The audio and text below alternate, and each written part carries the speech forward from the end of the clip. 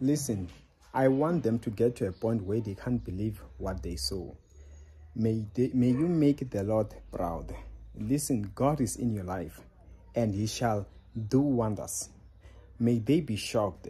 Those that thought that you are down there, those that those that they come at a point where they just feel like they want to finish you off.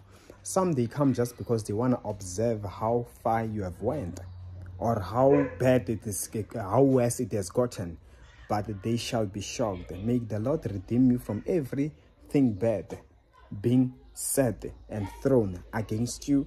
In Jesus' mighty name, amen. And see you next time.